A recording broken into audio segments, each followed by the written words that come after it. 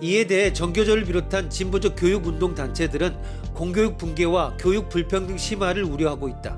특히 교육 불평등은 주된 화두가 되고 있다.